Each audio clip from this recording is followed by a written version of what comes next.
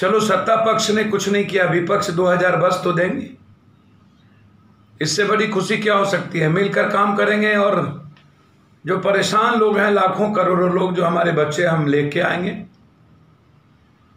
हमने कोटा के डीएम से लगातार हम बात कर रहे हैं कि आप हमारे बच्चों को भेजिए। हमने तीस बस भेजा है।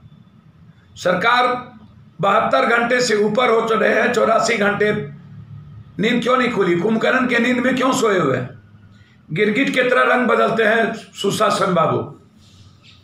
आत्मा का परिवर्तन नहीं हो रहा। है डीएनए ठीक ठाक चल रहा है। अब जब पूरे बिहार के लोग परेशान हैं, भूख से मर रहे हैं, मार खा रहे हैं, तब इनके पास संसाधन नहीं है। चौसठ हज़ार करोड़ रुपया का घोटाला हुआ।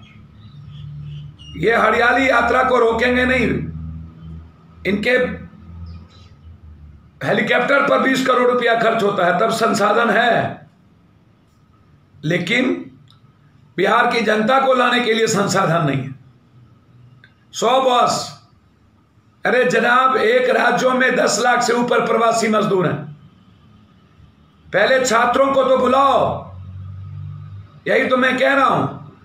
और भारत सरकार के गाइडलाइन को फॉलो करो। क्वारंटाइन का मतलब है घर में क्वारंटाइन करना चौदह दिन। ये जो लोगों को और भी परेशानी में डालने की बात ये लोग कर रहे हैं। आप जाँच करिए। लॉकडाउन का फॉलो पालन करिए। आप बीस ही लाइए, पचास में बीस लाइए, मुझे कोई आपत्ति नहीं। आप सैनिटाइजर कीजिए मास्क दीजिए, लेकिन क्वारंटाइन केंद्र सरकार के नियम के मुताबिक घर में और वहीं जाँच की व्यवस्था। या जाँच करके आप घर में क्वारंटाइन करिए।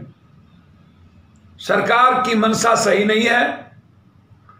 विपक्ष तो शायद गायबी है विपक्ष का कोई औचित ही नहीं है।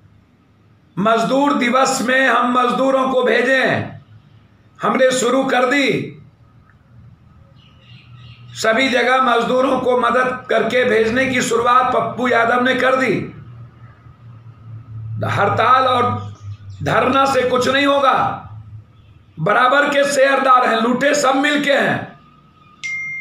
और मैं आग्रह करूँगा सभी M P M L A चार चार पाँच पाँच बस अपने विधानसभा, लोकसभा के लिए दें, ताकि बच्चे और उसके मजदूर आ सके। जब ये लोग चुनाव में करोड़ों अरबों खर्च करते हैं और रैली पर 400 बस लाते हैं तो आज इन लोगों के पेट में दर्द क्यों हो रही? या तो रिजाइन करें, या तो अपने अपने लोकसभा और विधानसभा के लिए बस दें। ये मेरा आग्रह है। और सुशासन बाबू डबल इंजन की सरकार है। ट्रेन लगाने की व्यवस्था करिए। स्पेशल ट्रेन जिसमें पैसा न लगे। केरल से, महाराष्ट्र से, अमृतसर से, कोटा से, महाराष्ट्र, बम्बई से, आंध्रा से, कलकत्ता से, इस लड़ाई को लड़ने की ज़रूरत है। और दोनों सरकार एक हैं, बहाना मत करिए। और एक दूसरे पर थोपिए नहीं। बहुत हो गया सवा महीने तक बिहारियों को मार दिया आप लोग